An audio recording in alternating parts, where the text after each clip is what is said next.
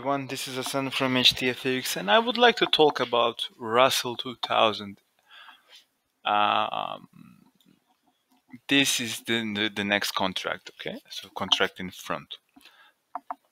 So if you look at this chart from daily perspective, okay, what I see is actually um, a bullish case. Now why? I will tell you why. Now, the turning point of our chart, as you can see, is with this move here, okay? After this, there is definitely some kind of wave in which degree, as of now, I don't know. But it looks like something has ended here and we had a move to the downside and now we're going up, okay? So let's see. Let's see the move after this, what it can happen. It may have happened here, okay? So let's try to go on four hour chart. I think there was a clearer picture on the four hour chart, okay? Now, let's go a little bit like this. Okay, better. So the previously stated area for our like uh, the change is this area. Okay, so this is where the turning point of this chart, and this is why I will put something here on the different degree. Okay, so let's put it on purple something because we don't know what is actually finished here okay?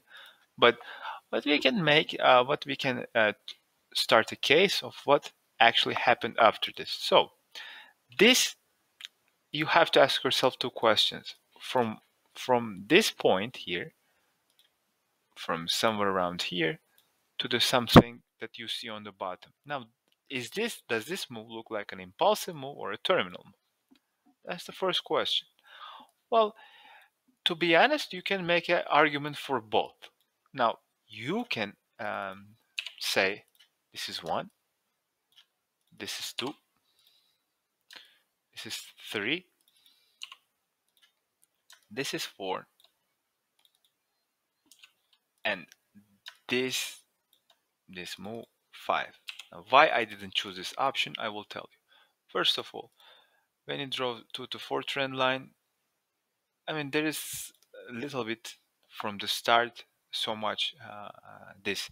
Now, there are some times that I ignore this, to be honest with you. So 2 to 4 trend line has to be clean, but it cannot be pierced by the third wave. But this, sometimes we can look past it, okay, if every other thing is on point. However, I have a different problem here problem comes from the fifth wave. Now the fifth wave in here, as you can see, it does not look like an impulsive move. It looks like a terminal move. It, it if it, if it's an impulsive move, it can be only terminal because we cannot we cannot identify here uh, one, two, three, four, five with an extended wave and all that stuff. But the problem with this is it can happen here, yes, but it doesn't come back to where it's supposed to in due time. It doesn't come back all the way to the here, which makes me believe because if we were in a fifth wave eh, with a terminal move, what I would do, like I what I do all my videos, if you go and check the other ones, what we should do is you should take this fifth wave, okay, and take this time taken and take 50% of it and put it on the right side of the way and I we, we are assuming that this should go all the way to here in due time. Now, did it come back there? No, it doesn't. And this point is well something in a huge margin, like 40 points or so. Now, if you think that you can get past to that, which I don't have problem with it, but uh, I wouldn't. This is why I am ruling out this uh, impulsive way scenario, but rather I would like to see here a complex correction, namely a move looking something like this. Okay, ABC here and an XY. Now let's check it out. If this is an ABC, what we need? Well, this can be only a zigzag pattern. Why? Because this is the first stop. So the wave A here, okay. This is our wave A something like this. And let's check our fib.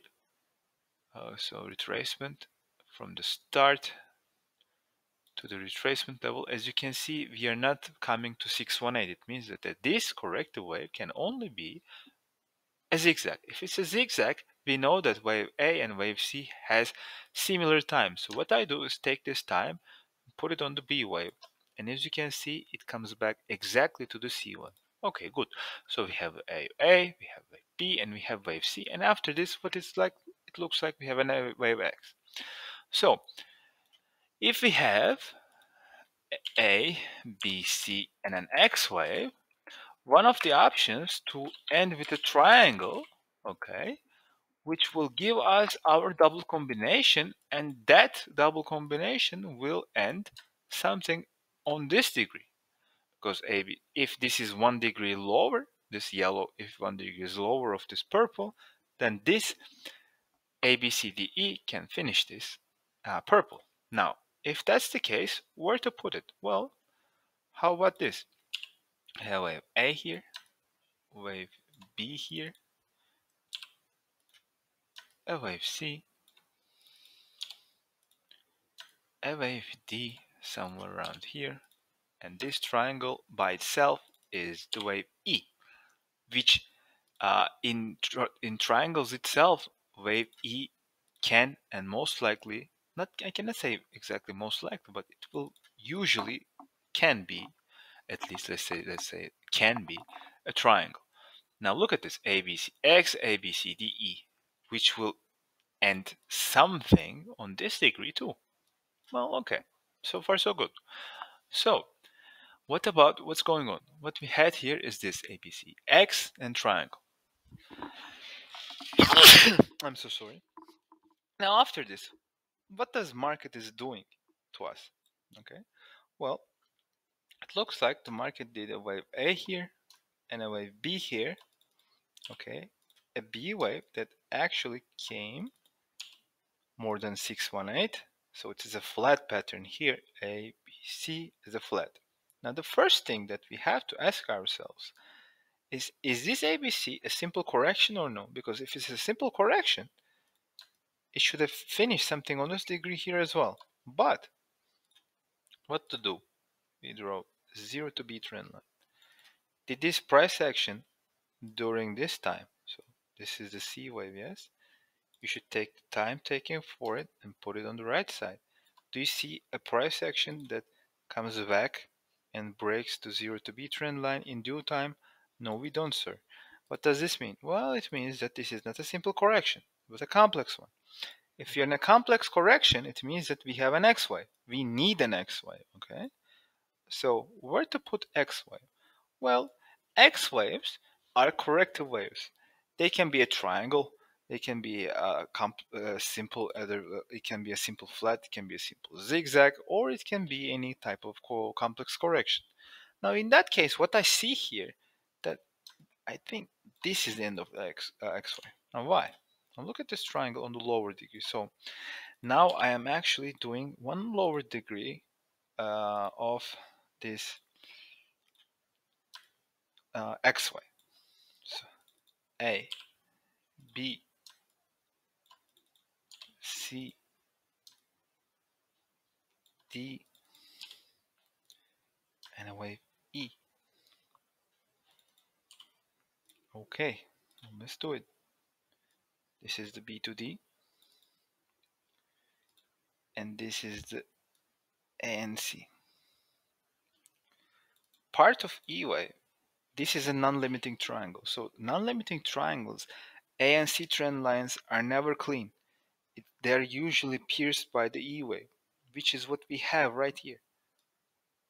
Okay.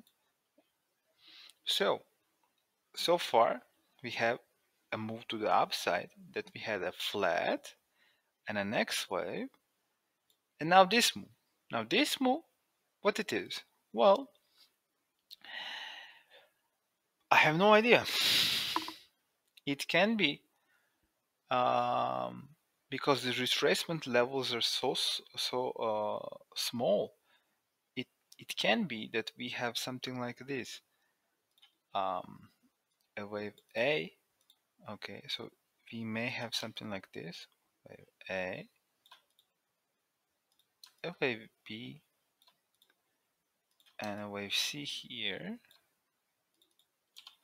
okay and then an x wave and then something else. But, but, what I don't like here is the, when you look at this market geometry, this is why it's so important. Look at the time taking for these other waves. Look, this time, this time, this time. This looks too short.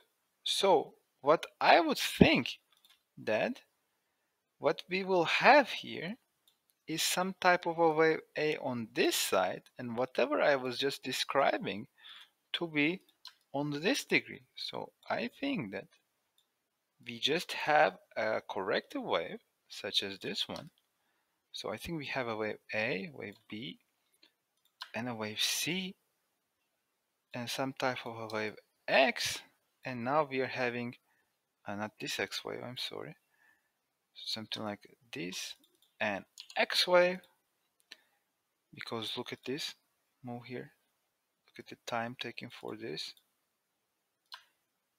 It is is this similar? No it's not even similar. It's not even similar like this.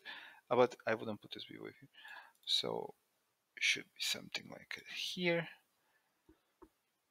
And can we gain some type of more time by putting okay let's actually do a little bit better job.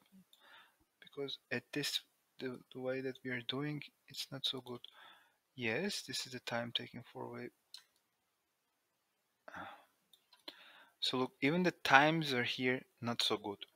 But I don't see to be honest another option than here than uh, in other than this. So ABCD this X wave and then whatever we have here it looks like it's just a wave A now, can can it be also something like this? Let's look at in it from a different perspective. Maybe we have something like wave 1, wave 2, and wave 3. Okay. Because the zigzag idea, it doesn't look like it's working. And one, two, three, four, five, and that five will just finish wave A of a zigzag. Now, if that's the case, we need an extension. This is the length of first wave. Okay, this is the length of first wave, and we should take 161.8 out of this to see if we have an extension from here. Okay, we have the extension put the second wave here, we have the extension. Good. Well, there you go. What does this mean? It means that one, two, three, and we are, it looks like we are in a fourth wave. Okay. And after this, we should have a fifth wave. Now, when we have the fifth wave, it means that we will be done with the wave A. So we will have this as a zigzag. Now, the trouble here is this. Look at this um, the territory of second wave. This. This is the territory of the second wave. Now the fourth wave cannot come here. If it does come here, then it's a goodbye to this idea. Okay? Because why? Well, one to three. This we are in a wave A of a zigzag. Wave A of a zigzag cannot be a terminal move, so it must it, it has to be a classical impulsive move. In a classical impulsive move, fourth wave can never come to the territory of the second wave. Okay, so this move, whatever this uh, corrective wave is, if it comes slowly, slowly, slowly, if it comes to this area, then this um, idea of this being the wave A of the zigzag idea is not true. But other than this, if it comes and makes a new high, that will be the wave A. Then after this, what I should check if that becomes the reality, then we should see. Let's go actually like this, it will be easier. So let's get rid of this. Okay, if we will have something like this, then we should check let's say that um, so let's say that this is the end of wave A what I should do is take the field level and see if I see any retracement more than 618 on the future on the right side okay? And then the, after the B wave is done we should play for the C wave okay? For what? For ABCX let's see if you have a double combination or a triple combination okay? So i hope this makes sense guys and see you on the next one